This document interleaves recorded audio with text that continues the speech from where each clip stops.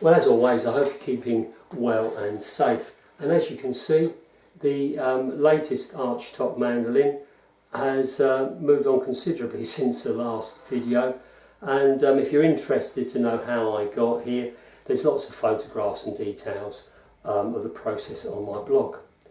If you follow my work, you'll know that the last thing that I do, the last kind of major bit of woodwork, if you like, is uh, shaping the neck and the purpose of this video is really to show you how I go about that process. So let's take you back in time and you can see um, how I did this. So I thought I'd just quickly show you the main tools I use for shaping a neck.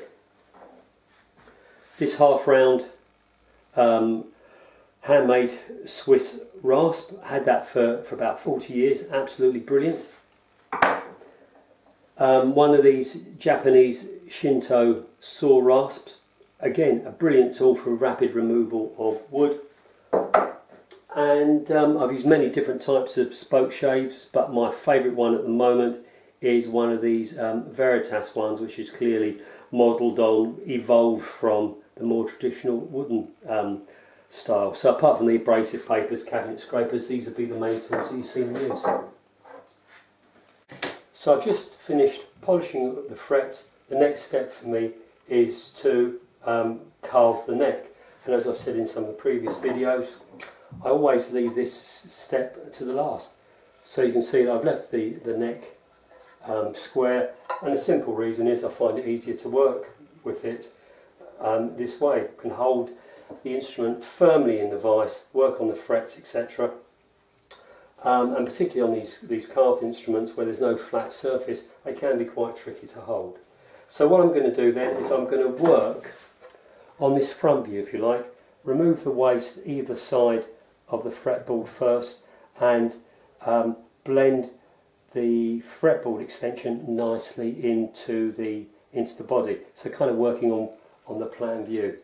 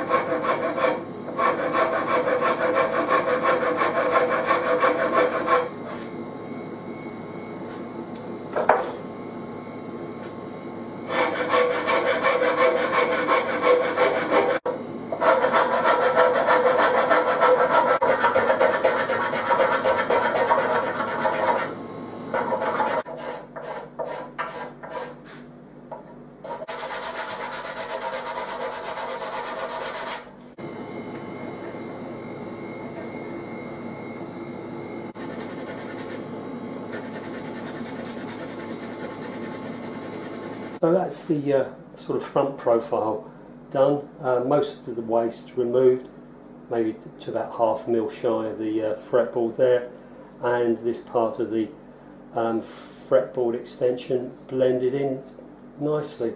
So what I'm going to do now is um, work on the depth of the neck and what I tend to do is to do one section here, one section there to the um, it's about a millimetre shy of my final depth and then the bit that's left in the middle I then take off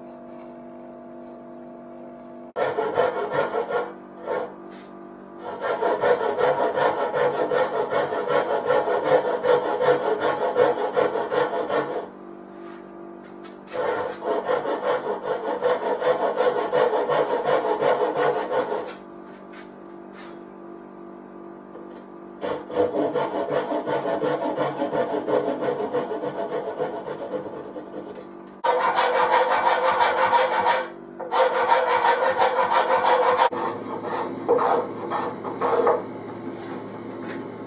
you.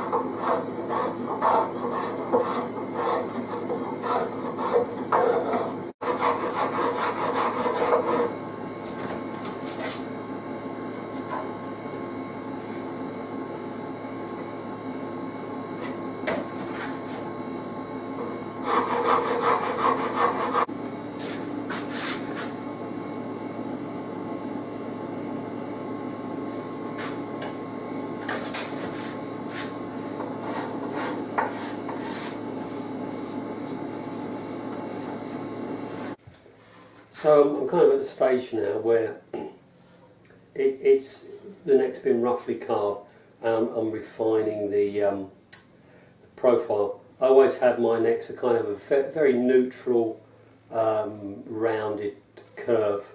I don't really like you know the pronounced V necks. Um, and what, what, what I do whilst I'm working is look at the edge of the fretboard and compare it to the um, to what I can see of the neck. A bit like um, the sort of the bars you, you, you put on, on a framework to check whether it's twisting or not. And as I gradually rotate that, right now I'm at that point, I can see that we're okay along here, but there's a bit of a lump there. And if I rotate that a little bit more, yeah, I can see that there's definitely a lump there, so I need to take a bit off, off, off, off of that.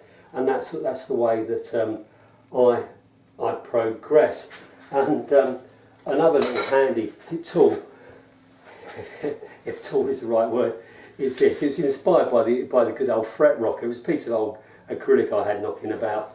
But of course, it's ideal. It's ideal for checking that the neck is there aren't any lumps and bumps in the neck. You know, you can put that on there, and and I eyeball that quite nicely. So as I say, along the back edge there, it's absolutely fine.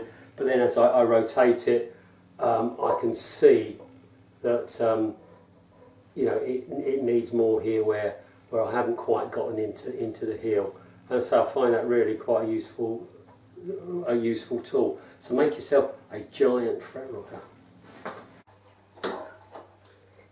And the other thing I find useful is one of these um, these profile gauges because you get a much better impression of what the, the curve looks like. And of course, if you if you if you if you uh, use it in one position, you can then turn it around and check that the uh, that the neck's symmetrical. So it's a something else as a, as a useful way of of checking your, your progress. So the, the heel cap's been glued on and um, I'm almost there with the heel. Need to do a bit more refinement around the sort of the nut area there where the neck blends into the head and you've got the volute. Oh, there goes the dehumidifier. So I need to sort that area out there.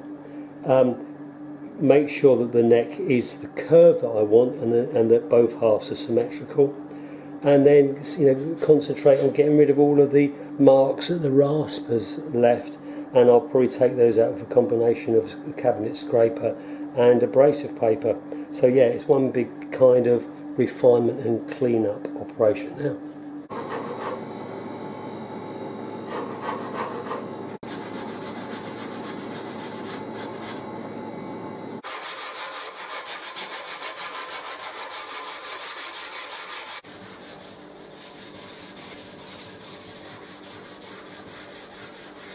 I've just sprayed some water on the neck, which, um, as you know, raises the grain. But also, areas like the join between the, uh, the neck and the fretboard, what was smooth a moment ago where I sanded it, I can now feel where the neck is, where, it's, where the grain is lifted up slightly. So that can all be sanded again flat and smooth. Um, so really what, I, what, what I'm into now is um, finishing off the neck but as I'm finishing off the neck, I'll gradually then start sanding everything else, and um, this will be the start of the final cleanup of the whole instrument.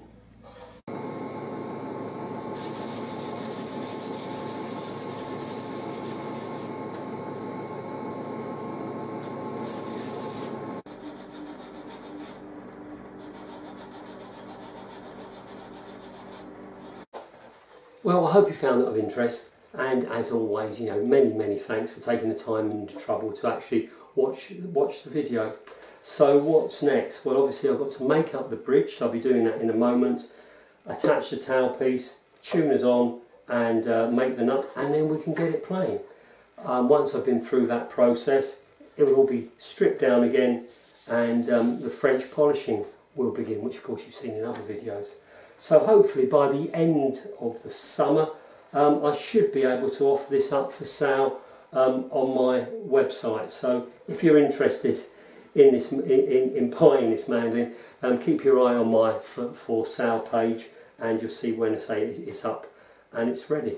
So in the meantime, you take care and um, thanks for watching and uh, yeah, keep safe. Cheers.